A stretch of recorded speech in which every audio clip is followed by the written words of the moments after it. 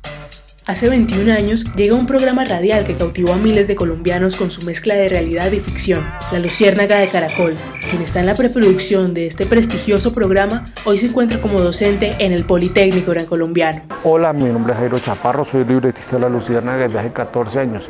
Lo que hago es tomar noticias, darles una vuelta, convertirlas en humor, convertirlas en ficción, darles una caricatura, desenmascararlo serio. Pero ¿cómo es la jornada de Jairo Chaparro siendo el libretista de un programa diario como La Luciérnaga?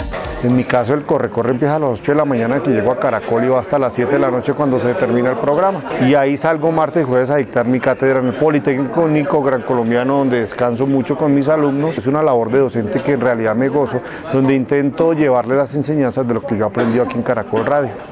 Por favor, para que este ejercicio sea exitoso, necesito por favor que haya silencio total. Pues yo considero que el profesor siempre pues tiene algo nuevo por enseñar y aparte de que nos enseña a hacer radio, también nos enseña a ser cada día mejor profesionales. No solamente se queda en lo concepto y en lo que la academia te llega a ofrecer como tal, sino se comienza a convertir en una teoría prácticamente humana en la que tú estás aprendiendo a crear pasión por lo que haces.